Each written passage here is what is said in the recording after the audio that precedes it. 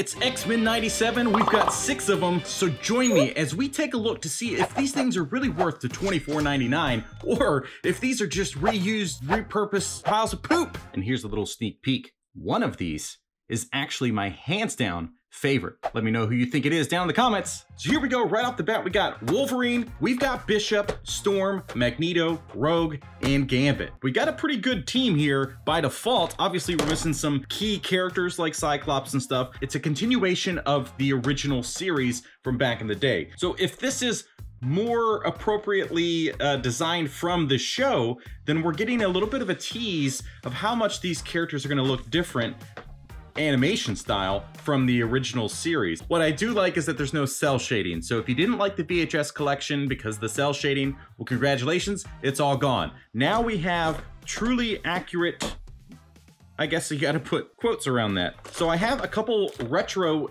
X-Men figures and a couple VHS figures that we can take a look at in, for the sake of comparison and try to look at the differences with the accessories because I'm gonna tell you right now, I think we're getting a little bit so where do we want to start, huh? Let's start with, uh, I guess, Rogue? So looking at the box art, you're getting, they're all the same except for you get the, which we just saw. I don't need to tell you all that again, but we're getting a group shot of all the figures that are available in this wave, which is nice. You kind of get to know what is available. We have no idea what's to come. And a downside with the packaging here from Marvel's, you never know who the artist is on the cover. If you know who did the artwork on the front of these things, please let me know. Now I want to start with Rogue because I do have the retro version of Rogue and they're pretty much the same from what I can see. So this is the new X-Men 97 versus the retro Rogue. We're getting the same exact accessories. She looks like she's basically the same build, uh, with a new head sculpt, of course. Upper torso jacket is different. Obviously, the coloring is different, but here we go with the retro one, which has a, a warmer yellow tone here, and then this brighter yellow and the green. I don't know how I feel, like the this obviously not a perfect line work here.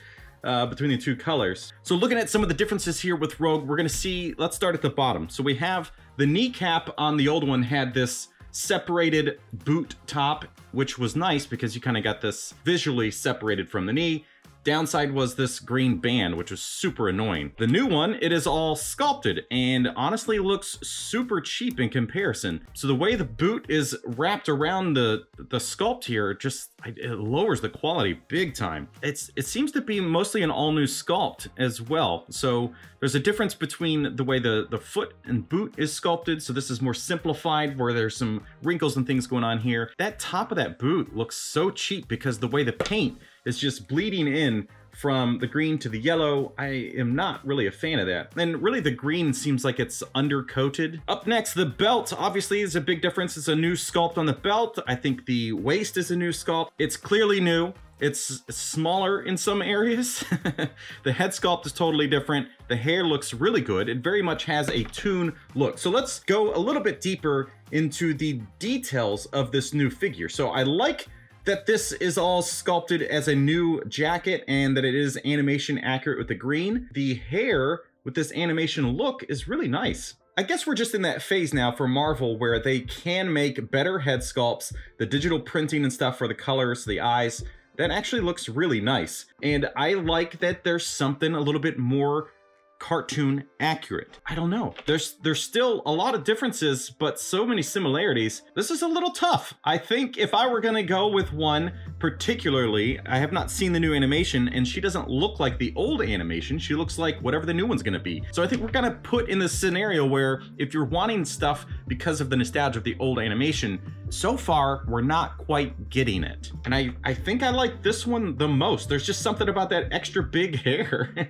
that looks a little bit more more uh, you know, retro, maybe more comic book. Accessories are identical. So you get a hand holding her other glove, and you get the hand that is uh, ready to reach out and touch someone. Now, the one that came on the retro figure is a little unique. I, I don't really know why this was the choice of the hand, but the new one seems a little bit more appropriate, but also probably just pulled from some previous figure that they've made.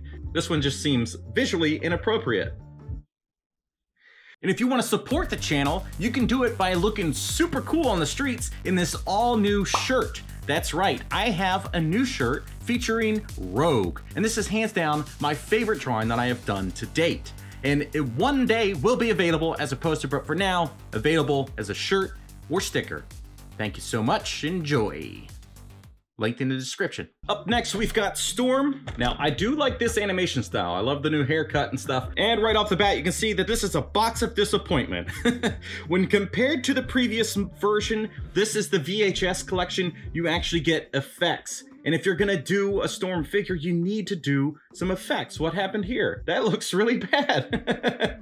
oh my god, I never noticed this before. How did I not notice this? All right, maybe that's why they didn't do this. But good God, like having effects for a storm, even if it's this or the jelly ones that wrap around the hands. Accessory wise, I mean, she's got two fists and then two open hands. She has two open hands and two electric hands. So I think when it comes down to head sculpts and colors and overall details, I, I, I actually like this face a lot better, but I love this haircut.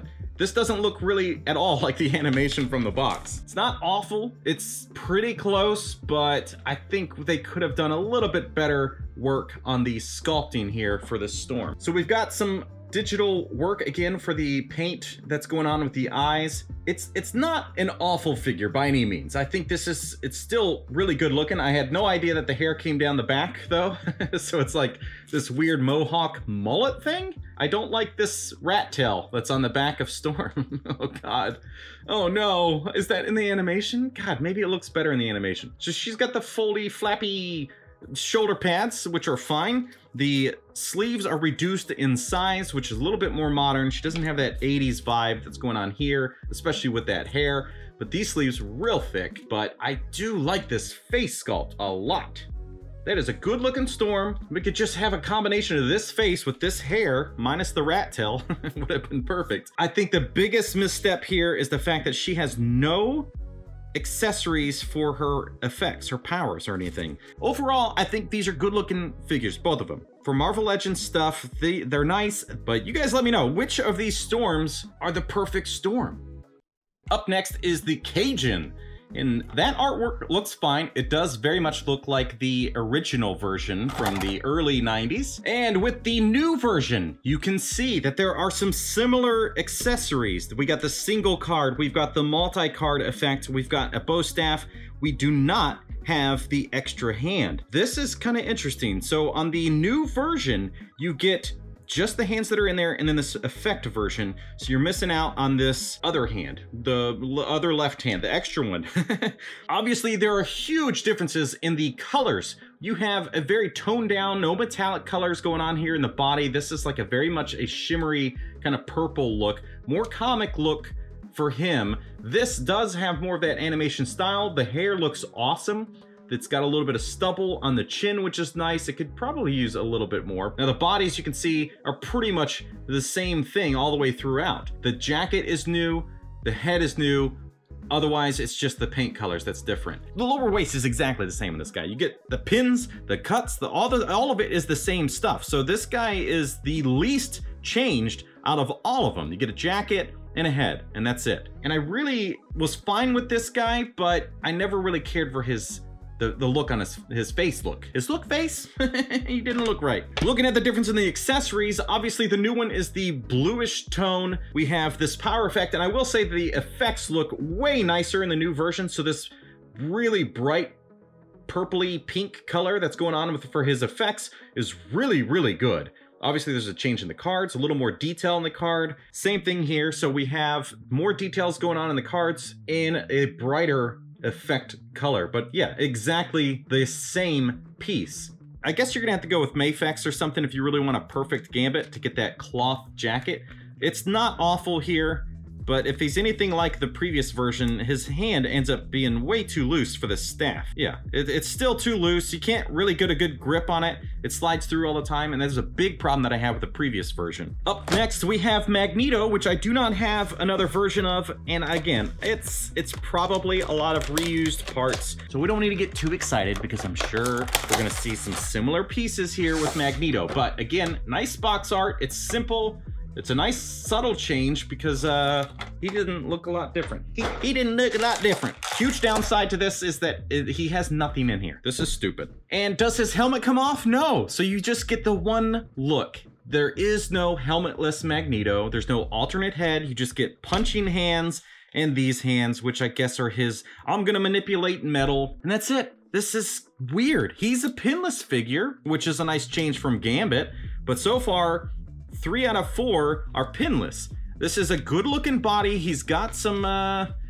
deep shoulder articulation, it looks like. The cape is plugged into the back. It, it's still, it's like deeply glued into the front though, so you cannot have him really without the cape, which is, is fine. I mean, he would look weird without it. This is just like a really unique joint that has really good range without technically having the butterfly joints, which is, that's pretty cool. As far as just if you need a good Magneto, I think this is fine. It's just a huge bummer to not have the other accessories, like some kind of power effect or something. The articulation is good. You're gonna just want a nice flight stand and have him posing, floating, looking menacing, and I guess he's a good guy now. What are we gonna what are we gonna see in the new stuff? Now the next up is gonna be this Bishop, which I think I'm the most excited for because this guy looks really, really good. And seeing him at San Diego Comic-Con, I was very excited. So what do we get in the box? We get a couple extra hands, gun hands, simple, and we get one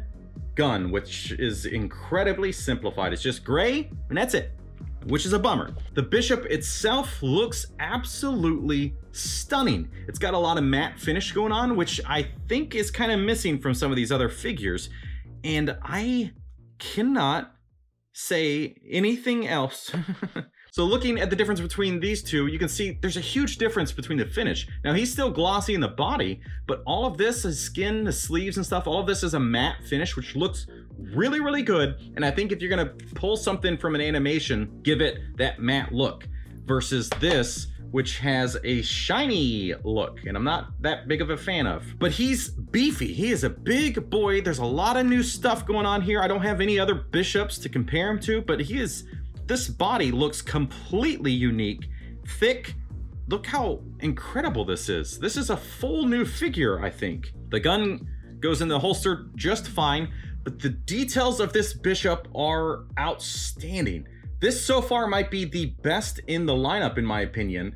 And it's while I was excited about it, it's still a total surprise that he might be the number one figure in the line. I just wish the matte finish went everywhere. It's just hit or miss. So the whole body is gloss, but then the arm sleeves, most of the legs are matte. This exceeds expectations. But let's get on with the next one. Last in the lineup is our main man, our boy, Logan. Or Wolverine. You might not know him as Logan, but that's okay. That's what his friends call him. I do have the VHS one. I do not know where the accessories are. Not even sure that he came with accessories, to be honest. There's going to be some similarities already. Obviously, the Dookie cell shading, which kind of ruins him. but this new head sculpt is looking real good. So let's try to compare as much as we can.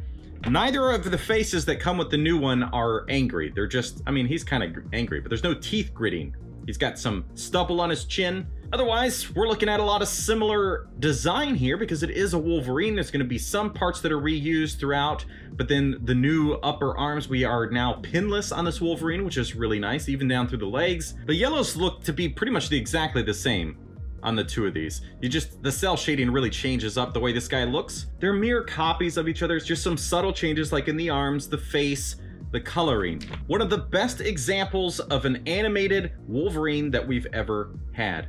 A lot of hair sculpt, which does look kind of funny.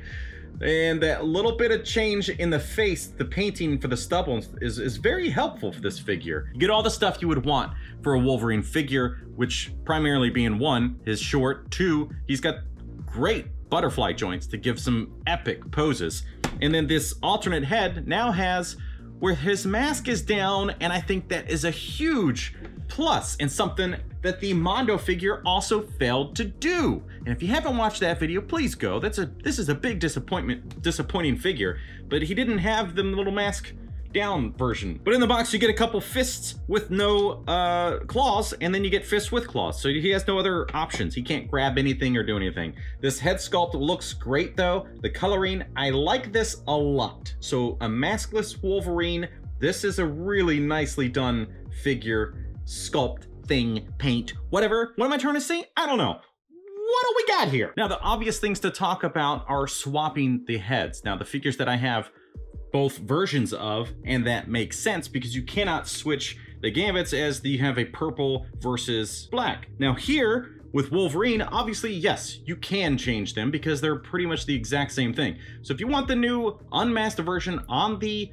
animated cell shaded version, you can do that. And then if you swap them, you want the gritting teeth on the new version, it's fine. The yellow is there. However, you do get this cell shaded spot. So you might not want to, I don't know. The coloring of the skin is obviously also different. So that's a much brighter, a little pinker. Regarding Storm, so the heads do swap over. There's a skin tone difference, obviously. Putting the new head on the old body is also very wobbly. The old head on the new body technically works, but again, you get a skin tone difference, so the darker tone on the new body. And lastly, Rogue. The difference, these heads are swapped now. So the belt, the ball pegs are set up differently, and I'll show you that. But this does look a little weird because it's it sits up higher on this body. But if you like the big hair, I guess technically you can make that work. If you like the new head on the old body, you can still technically make that work, but she does look like her neck is a little too short, and this is why. So the new design is the more standard with the ball joint thing going on with the neck, and then the old one is really just a very simplified peg. This one you can actually get some poses out of because the head does have range, which is nice. So if you want a flying rogue, guess what? You can kind of get it. So that is six all new X-Men 1997 versions of X-Men. And the good thing here is that you get this Bishop, and this Bishop is the crowning champion out of the set. There's no doubt he is a fantastic figure. Everything about it, the, the sculpt, the coloring, the face is my favorite part. It just looks so good, and that matte finish is stunning. So let me rank these instead of just kind of going in a weird way about it. So number one, without a doubt, is Bishop. It's fantastic. Number two is going to be Wolverine because it's great. Three, Magneto, because it's just a good looking Magneto, and I don't know. Next would be Rogue, because that face sculpt is good looking. Then from there, we got this Gambit, because that head sculpt, that hair is fantastic. It is definitely a more cartoon accurate face.